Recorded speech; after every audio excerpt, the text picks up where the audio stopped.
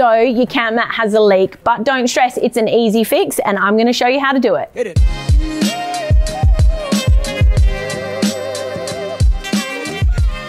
Hey guys, it's Lauren from Snowys here. Today I have with me a single air mattress.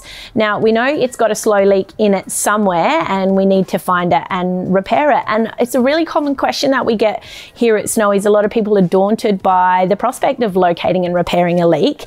The process will be the same not just for air mattresses but also with your self-inflating mats as well. So I'm going to take you through the process. All right, so a couple of things you're going to need to um, do your puncture location and repair is a spray bottle with a combination of soap and water. Common dishwashing liquid works the best in my opinion. Just going to mix it in this bottle and that will help you locate the leak. We're going to have some paper towel to dry it all off. Once we've found the leak, we're going to have a texta to mark the location of the leak.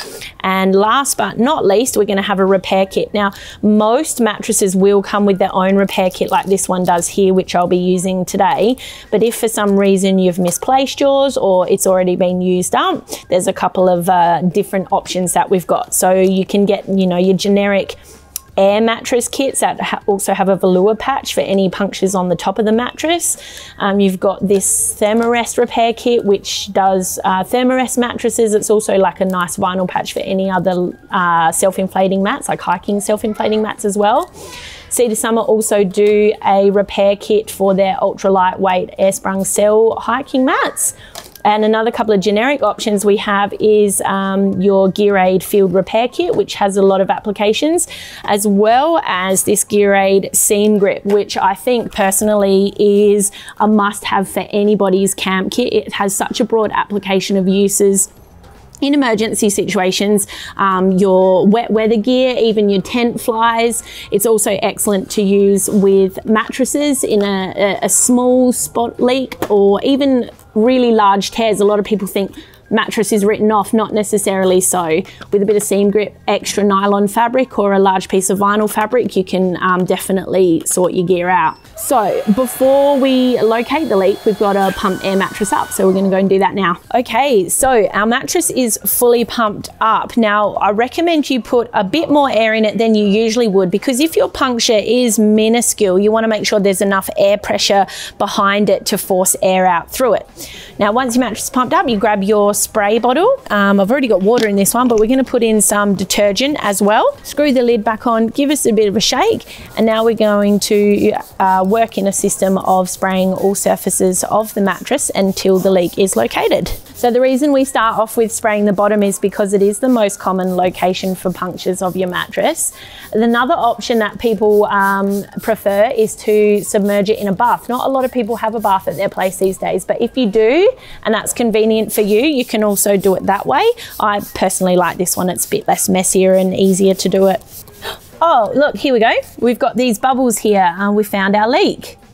We give it a bit, we'll push on the mattress just to be sure that that's where we've got it coming through. Ah, yes, it is. Okay, so the next spot we're going to do is grab our um, a bit of paper towel or towel, or whatever you've got to dry it off. Make sure you've also got your Sharpie here because we don't want to lose spot of that location. We want to make it really, really dry. And then get your Sharpie ready. And what we're going to do is mark the spot of that puncture so we don't lose it.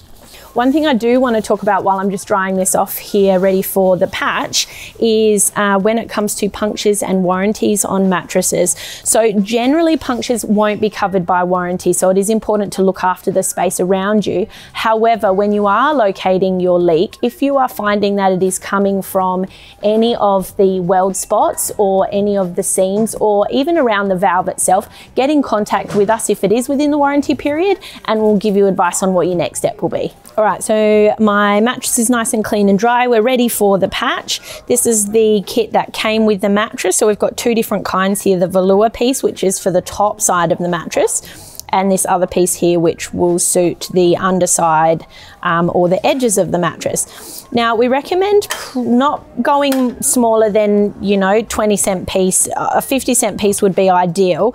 However I'm actually going to stick to the 20 cent piece size today which will give me um, a bit of spare stuff left over in an emergency for the next time round.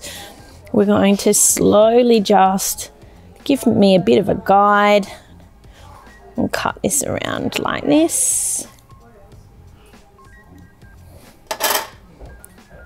Now, the really important thing that um, you need to take into consideration is to make sure that all your edges are rounded off. If you've got any corners, if it's in a square rectangular shape, those edges are going to be really prone to being caught on clothing or the edge of your tent or something like that, and you don't want to rip your puncture patch off. So once we've cut this repair patch, the next step is to deflate the mattress.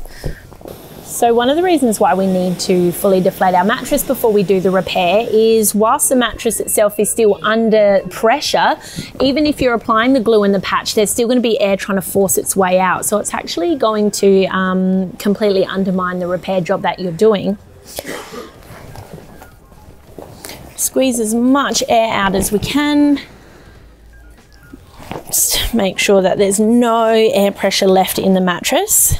And now we're going to relocate our marked puncture spot. Ah, here we go. I'm just going to grab some more paper towel and we're going to thoroughly dry off the area again. So once the area is nice and dry, the next step is to apply glue to your spot, we're going to put it straight onto the mattress itself. Now, you don't need to be too careful with the glue. If anything, you should apply it quite liberally because it, uh, too much glue will dry. Not enough glue will uh, leave your patch possibly not functional.